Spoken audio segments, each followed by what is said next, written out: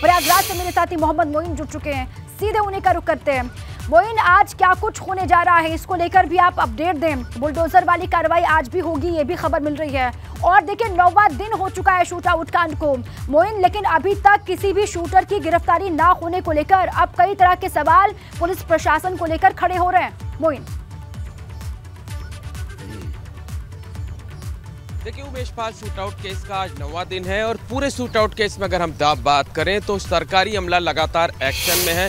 पिछले तीन दिनों की बात करें तो तीन दिनों में प्रयागराज और कौशाम्बे में मिलाकर चार जगहों पर बुलडोजर चल चुका है। अतीक अहमद के चार करीबियों की संपत्तियों को जमींदोज किया जा चुका है प्रॉपर्टी को जमींदोज किया जा चुका है और आज भी उम्मीद है कि किसी न किसी जगह बुलडोजर ज़रूर चलेगा। हालाँकि किस जगह चलेगा, किसके मकान को गिराया जाएगा, ये अभी सरकारी अमले ने साफ़ नहीं किया है, लेकिन सुबह ग्यारह दो ग्यारह बजे के आसपास जो सरकारी अमला है, वो एक जगह पर इकट्ठा होगा और वहीं से मूवमेंट शुरू होगा।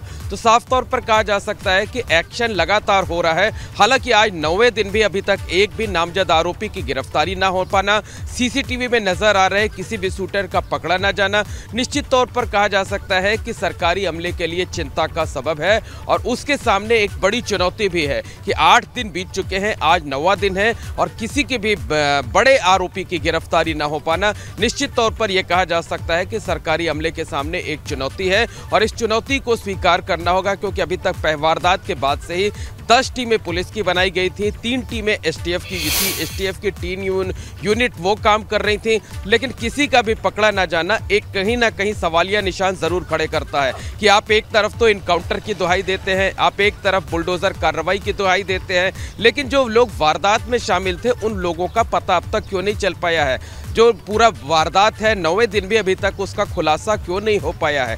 ये तमाम सवाल हैं जो कि सरकारी अमले के लिए, खासकर पुलिस के लिए जो है, वो चुनौती भरे हैं। निश्चित तौर पर पुलिस का दावा है कि हम लगातार काम कर रहे हैं, हम सही वर्कआउट करना चाहते हैं, जल्दबाजी में आनंद फानंद में किसी को नहीं पकड़ना चाहते हैं। इस तरीके के दावे पुलिस की तरफ़ से किए जा रहे हैं, लेकिन अब लोग ये पूछने लगे हैं कि आखिर कब आखिर कब का जवाब यही है कि आज नौवा दिन है, मामले का खुलासा कब होगा, उत्तर प्रदेश पुलिस क्या कर रही है? एसटीएफ क्या कर रही है? लोग इसी बात को जानना चाहते हैं और इसी बात को लेकर के इसी सब यही सवाल उमेश पार के परिवार के लोग भी पूछ रहे हैं जो दोनों गनर इस घटना में मारे गए हैं उनके परिवार के लोग भी यही सवाल पूछ रहे हैं। तो आज भी एक तरफ़ बुलडोजर की कार्रवाई देखने को मिल सकती है ताबड़तोड़ छापेमारी हो सकती है। तो अदालत में आज भी कुछ इससे जुड़े हुए मुकदमों की सुनवाई की जा रही है। हम देख रहे हैं किस तरीके से वहाँ पर पीला पंजा लगातार गरज रहा है लेकिन अब सवाल सभी ये पूछ रहे हैं कि शूटर्स कहाँ हैं? शूटर्स के बारे में अभी तक जानकारी प्रशासन को क्यों नहीं है? जो टीमें लगातार दबिश दे रही हैं, उनको कोई सुराग क्यों नहीं लग पाया गया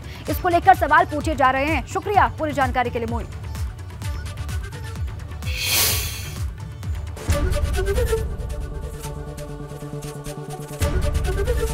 एबीपी गंगा, खबर आपकी जुबा आपकी।